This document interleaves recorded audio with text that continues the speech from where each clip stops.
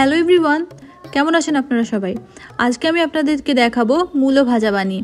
এই মূলো ভাজাটা গরম ভাতের সঙ্গে খেতে কিন্তু খুব ভালো লাগে। আর এটা বানানোও কিন্তু খুব সহজ আর খুব কম সময়েও তৈরি হয়ে যায়।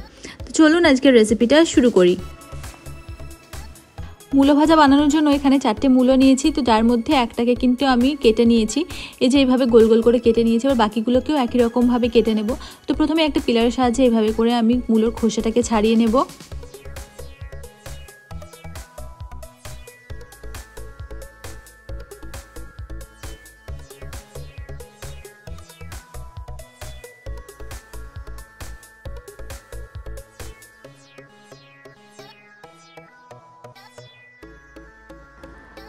মূলোটার খোসা ছাড়িয়ে আমি মূলোটার ওপরে যে শক্ত অংশটা থাকে সেটাকে কেটে ফেলে দিয়েছি। এবার একটা ছুরির সাহায্যে মূলোগুলোকে আমি কেটে নিচ্ছি। দেখ মূলগুলোকে কিন্তু আমি খুব পাতলা করে কাটিনি, আবার খুব মোটা করেও কাটিনি। মাঝারি সাইজ করে কেটে নিয়েছি। এবার সমস্ত মূলগুলোকে আমি একই রকমভাবে কেটে নেওয়ার পর এবার এটাকে আমি জল দিয়ে খুব ভালো করে তিন থেকে চারবার ধুয়ে নেব।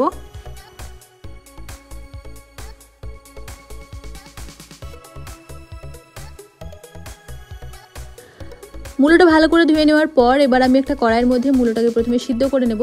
যার জন্য মূলোর মধ্যে আমি দিয়ে দিচ্ছি পরিমাণ মতো জল। তো এখানে আমি এক কাপ মতো জল দিয়েছি। এর মধ্যে দিয়ে দিলাম আমি হাফ টেবিল চামচ আদা বাটা। তারপর দিয়ে দেবো লঙ্কার গুঁড়ো, জিরের গুঁড়ো আর সামান্য একটু লবণ। মানে পরিমাণ মতো লবণ।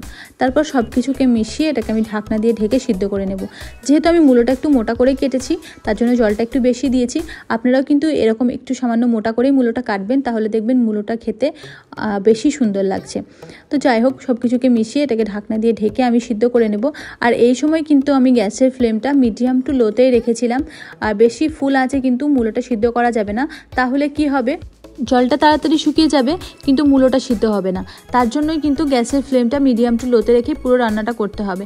আর মাঝে একবার আমি ঢাকনাটা খুলে চেক করে নিয়েছিলাম যে আমার মূলোটা সিদ্ধ হয়েছে কিনা, তো তখনও কিন্তু আমার মূলোটা সিদ্ধ হয়নি। আপনারা দেখতে পাচ্ছেন এখনও কিন্তু মূলোর মধ্যে জল রয়েছে, তো এই জলটা শোকাতে শোকাতে কিন্তু আমার মূলোটা সিদ্ধ হয়ে যাবে। তো তারপর আবারও আমি ঢাকনা দিয়ে এটাকে ঢেকে দুই থেকে তিন মিনিট রান্না করে নিয়েছিলাম।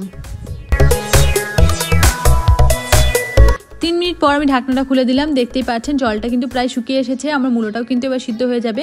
তো এই পর্যায়ে আমি মূলোর মধ্যে দিয়ে দিচ্ছি হাফ টেবিল চামচ চিনি। চিনিটা কিন্তু অবশ্যই দেবেন, চিনিটা দিলে কিন্তু মূলোর স্বাদটা অনেক ভালো হয়, মূলো ভাজাটা খেতে বেশ ভালো লাগে। তো আমার মূলোটা তো সিদ্ধ হয়ে গেছে, এবার আমি গ্যাসের ফ্লেমটা অফ করে দিচ্ছি, এবার আমি মূলোটাকে ভেজে নেব। মূলোটা ভাজার জন্য এখানে আমি একটা কড়াই গরম করে নিয়েছি, তারপর কড়াইয়ের মধ্যে দিয়ে দিয়েছি আমি দুই টেবিল চামচ তেল। তো এখানে আমি সর্ষের তেল ব্যবহার করেছি। তেলটা গরম হয়ে এলে এর মধ্যে আমি দিয়ে দেবো সামান্য একটু পাঁচ ফোড়ন পাঁচ ফোড়নটা দিয়ে আমি সব কিছুকে এক দুই সেকেন্ড একটু নাড়িয়ে নেব। আর পাঁচ ফোড়নটা খুব ভালো করে একটু ভাজা হয়ে গেলে এর মধ্যে আমি সিদ্ধ করে রাখা মূলোগুলোকে দিয়ে দেবো।